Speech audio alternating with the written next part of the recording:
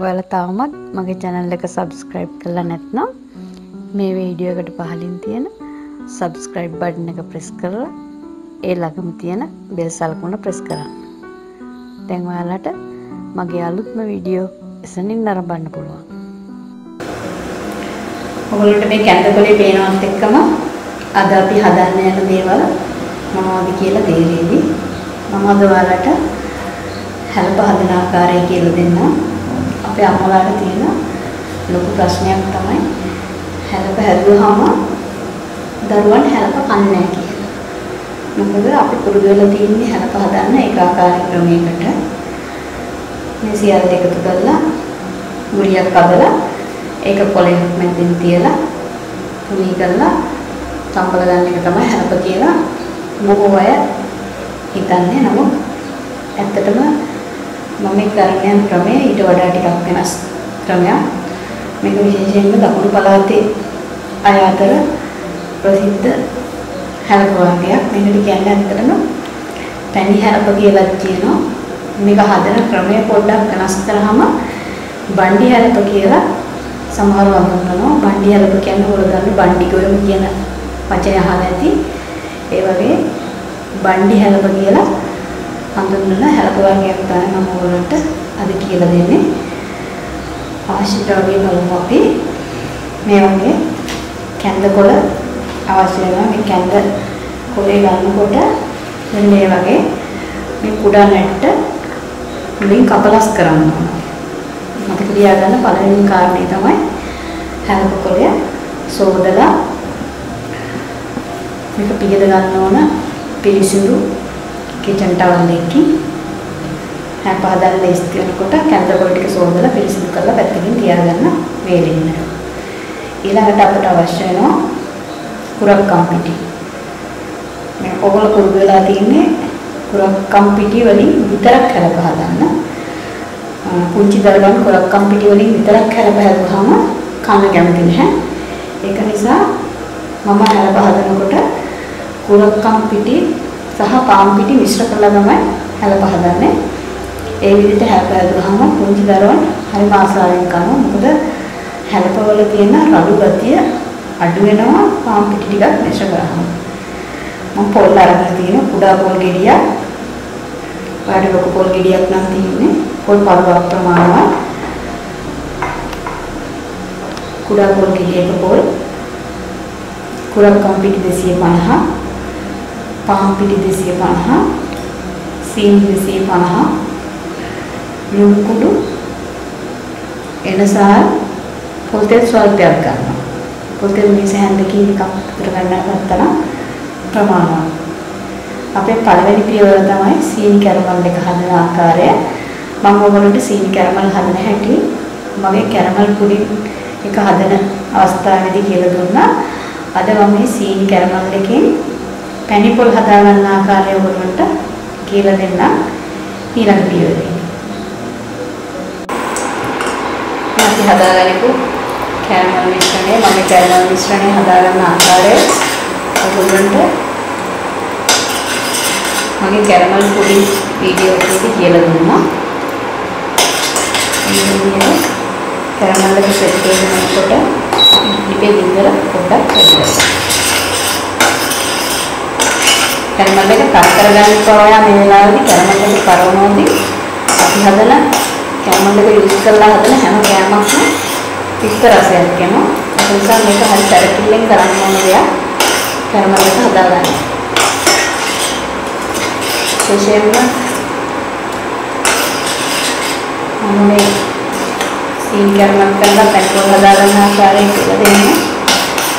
කිතුක් පැන් වගේ හොයාගන්න බැරි දරුවන් වෙනුවෙන් සම්මුතික කිතුල් පැන් තිබුණා නම් කිතුල් පැන් වලින් මේ පැට්‍රෝල් මිශ්‍රණය හදාගත්තා නම් තවත් රසවත් වෙයි. දැන් මම මේකට ඥාන කෝප්ප භාගයක් වතුර මිශ්‍ර කරනවා.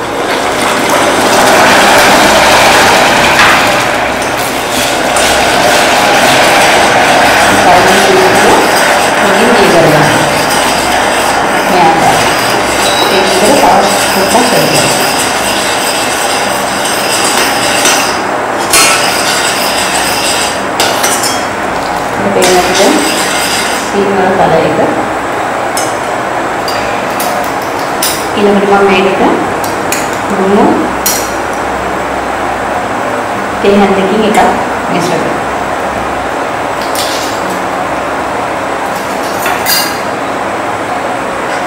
තොපි වරකට එන්සාරයට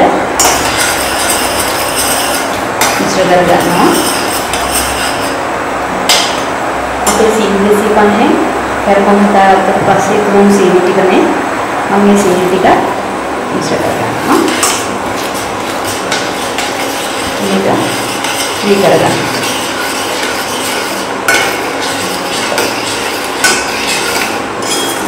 දැන් අපේ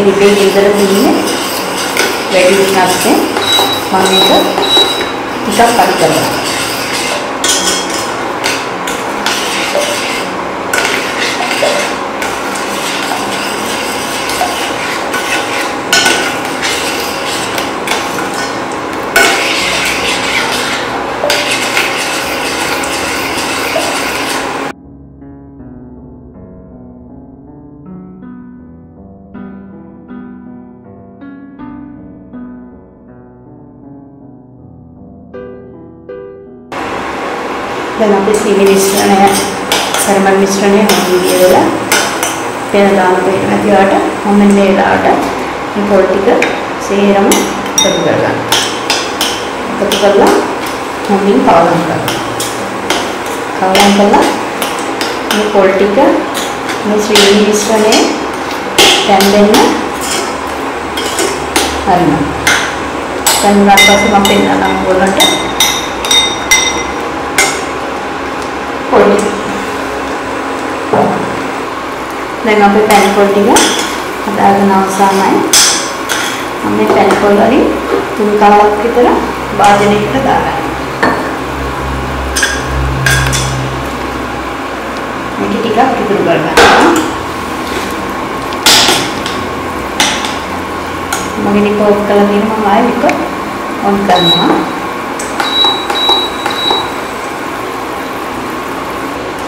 මම ඉන්ග්‍රීඩියන්ට්ස් පෙන්නද්දී ඔයාලට මට වතුර පෙන්නන්න බැරි වුණා ඇත්තටම. ඒකට හේතුවක් තියෙනවා මොකද මම හරකොට පිටි හදනකොට ගන්න ඕනේ මේ වගේ රස්නේ වතුර ටිකක්. මේ වතුර ටික මම ඔයාලට ඉන්ග්‍රීඩියන්ට්ස් පෙන්නද්දී පෙන්වුණා මම හැරව හදනකොට මේ වතුර ටික ගොඩක් නිවෙනවා. ඒක නිසා පෙන්වන්න බැරි වුණේ උණු වතුර අඩි කොප්ප තුනක විතර ප්‍රමාණයක් ගන්න එච්චර ප්‍රමාණයක් යන එකක් නැහැ. ඒවට අනුකෝප තුනක විතර ප්‍රමාණයක් අරගෙන අපි මේකට අනුකෝප හමාරක් විතර දාලා මේ පොල් මිශ්‍රණය ආයෙම මේ වගේ දිය කරගන්න. දැන් මේ දිය කරගන්න පොල් මිශ්‍රණයට අපේ ඉතුරු ලුණු ටික දාගන්න. දාගෙන හොඳින් හැදි ගන්න. දැන් අපි ටිකේ විතර ඔෆ් කරනවා. කරලා මේක මේ විදිහට නිකනකම් නිකනකම් කියන්නේ ගොඩාක්ම නිකනකම් නෙවෙයි සාමාන්‍යයෙන් අපිට අප කිච්චෙන් නැගෙන්න පිටිපිට අනා ගන්න පුළුවන් මට්ටමට නිකනකම් නිදා දැන් අපි හැල්ප වලට පිටි ටික දාගන්න සූදානම් වෙන්නේ. මුලින්ම අපේ කුරක්කම් පිටි වලින් ටිකක් දාලා පාන් පිටි වලින් ටිකක් දාලා මේ විදිහට හැඳි කුරක් ගන්නවා ටික තියාගන්න. හැඳකින් කරන අමාරුයි මේ වැඩේ. ආයු කුරක්කම් පිටි ටිකක් දානවා. මේ වගේ පිටි පොඩ්ඩක් ඉතුරු කරගන්න. වතුර වැඩි වුණොත් අඩු වුණොත් යොදා ගන්න අවශ්‍ය වෙනවා. පාන් පිටි වලන මෙන්න මෙච්චර විතර ප්‍රමාණයක් ඉතුරු කරගන්න. මොකද අපිට වතුර අඩු වැඩි වෙන්න පුළුවන්. මේ විදිහට මේක හොඳට මිශ්‍ර කරගන්න.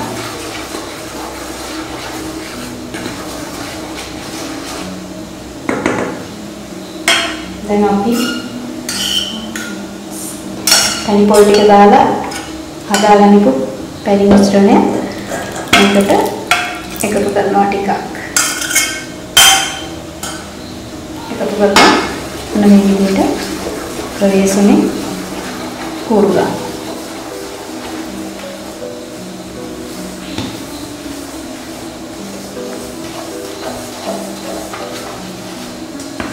අපි මේකට ඇල් වතුර ගන්න නැහැ. ගන්න ඕන මද රසනේ වතුර.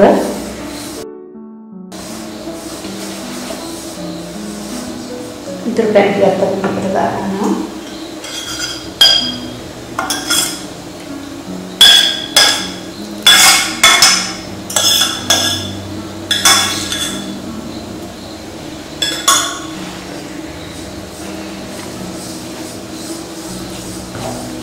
මේ විදිහට අපි මේක පිටි ඩෝ එකක් නැකම්ම හොඳට කූරු ගන්න ඕන ඇඳි කූරේ. විනාඩි 4ක් 5ක් විතර අම්බුරෙන් කූරු ගන්නවා.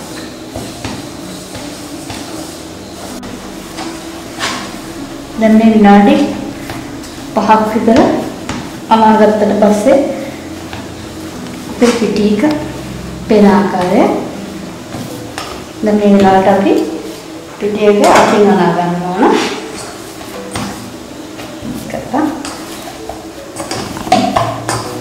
ඩෝ එකක් වෙන ආකාරයට විදිහට පිටියක අනා ගන්නවා. මේ ලාට තේරෙනවා මේකේ වතුර අඩු වැඩි ගැටියක් තියෙනවා කියලා වතුර අඩු නම් පොඩ්ඩක් තව මිශ්‍ර කරගන්න පුළුවන්. වතුර වැඩි කියලා හිතනවා නම් අර අපි ඉදිරි කරගන්නකො පිටි දෙවල්ගේ මිශ්‍ර කරගන්න පුළුවන්. මේ ඩෝල්ට නම් වතුර අඩුවක් නැහැ.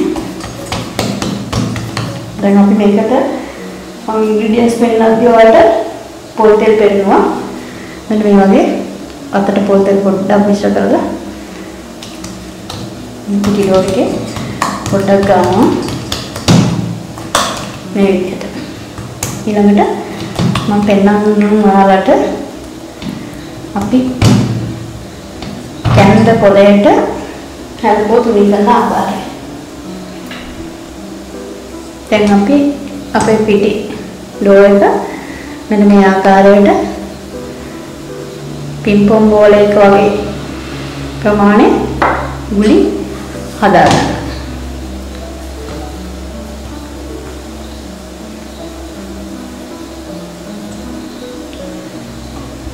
පෙර පොතේ පොට්ටක් ගාගත්තේ අපේ ඇලෙන ගතිය අඩු කරන්න ඕන නිසා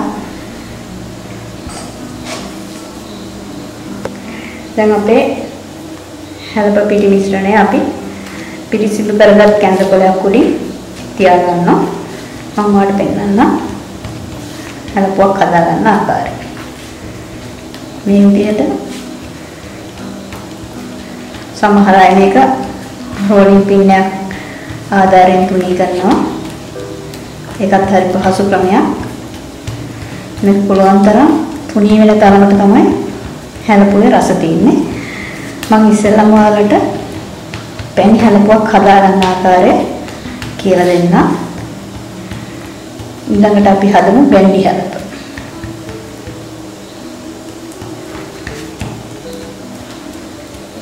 ඇත්තටම මේ හැරක් ගන්න ආගේ පුතා දුව හරිම ආසලේවි. මේ හැල්ප වර්ගයේ විශේෂයෙන්ම මම කාලා තින්නේ දකුණු පළාතේ නිවස් වලින් විතරයි. මේක ලංකාව පුරාම හදන කෑමක් වුණාට හැරප මේ විශේෂ ක්‍රමය මම දැක්කේ දකුණු පළාතේ. දැන් මේ අපි අපට පේන ඇති තුනී කරගත්ත ප්‍රමාණය හොඳටම තුනී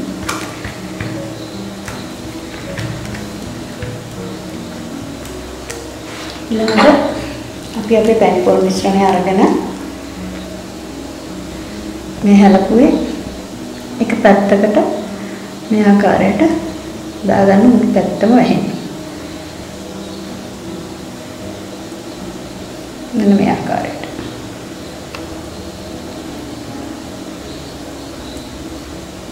මේකට කියන්නේ පැණි හැලප කියලා.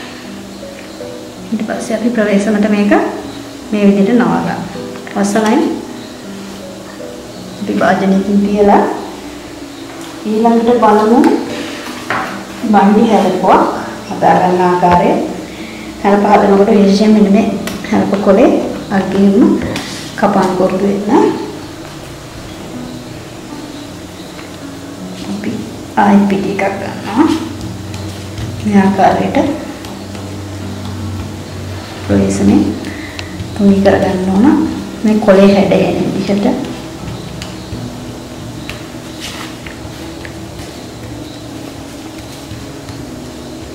මම මේ විදිහට හැරස හැදුවොතින් ඔයාගේ දුවදරුවෝ වෙනදාට රිජෙක්ට් කරපු හැරප ඉල්ල ඉල්ල කන්න පටන් ගනිවි.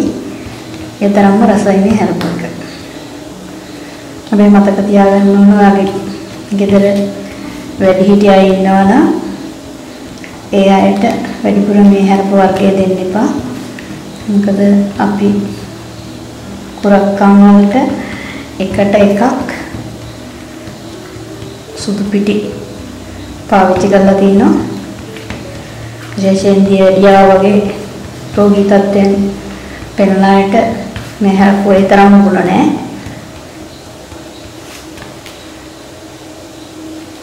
මේ සිදුරු වගේ මතු වේගෙන එනවා නම් මේ පැත්තෙන් පිටි අරගෙන එතන වහගන්න.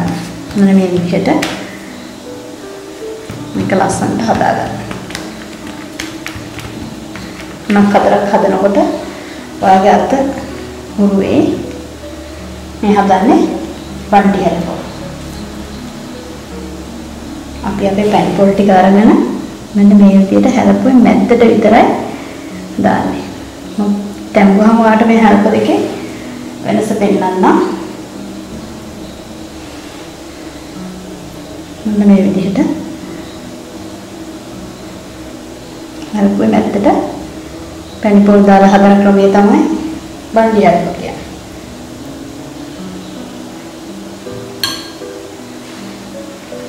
මේක ප්‍රවේශමට මේ විදිහට නවා ගන්න. මම ඊළඟට ඔයගොල්ලන්ට පෙන්නන්නම් හැලප තම්බන ආකාරය. දැන් අපි අපේ හැලප ටික හදාගෙන ඉවරයි. මම ඔයගොල්ලන්ට හැලප ටික ස්ටීමර් එකට දාන්න හැටි දෙන්නම්. මේ ආකාරයට හැලපුව දෙපැත්තට දාන්න. ඊළඟට ඊළඟ හැලප දෙක මේ ආකාරයට. මේ විදිහට හැලප ටික ඔක්කොම අඩු කරලා ස්ටීමර් එකට අපි මේක විනාඩි 35ක් විතර වාෂ්පෙන් තඹ ගන්නවා. තඹ ගත්තට පස්සේ මම පෙන්නන්නම් ඔයගොල්ලන්ට අපේ හැලප ටික. මම ඒ පිටි මිශ්‍රණයෙන් හැලප 11ක් හදාගත්තා. ඔයගොල්ලන්ට ඉක්මනින් පෙන්වන්න ඕන නිසා මම හැලප පහක් එකපාරට හදාගත්තා ස්ටීම් කරලා. මේ තාම රස්නේ මේ තින්නේ අපි හදාගත් පැණි හැලපුව. මම ඔයාලට පොඩ්ඩක් කපලා පෙන්නන්නම් පැණි හැලපුව.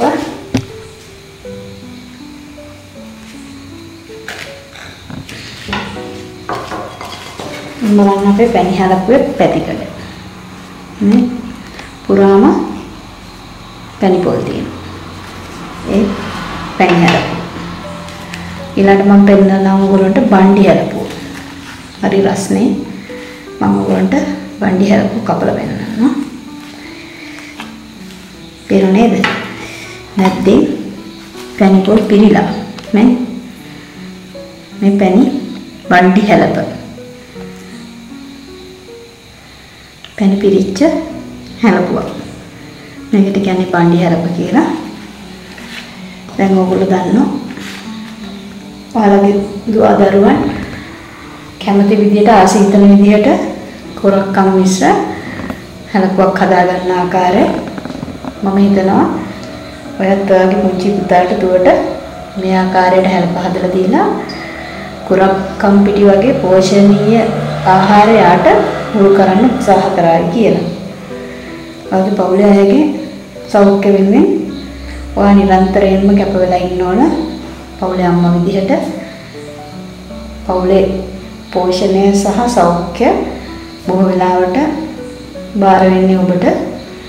ඔබ පවුලේ අම්මා නම් මම හිතනවා ඔයා ඔයාගේ දරුවන් වෙනුවෙන් ඔයාගේ සැමියා වෙනුවෙන් ඔයාගේ පවුලේ වැඩිහිටියන් වෙනුවෙන් මේ වගේ පෝෂ්‍යදායී සෞඛ්‍ය සම්පන්න ආහාර හදලා පවුලේ අය සමග රස විඳින්න කියලා අපි නැවතත් මේ වගේ රසවත් ගුණවත් ආහාරයකින් Hamuemu I1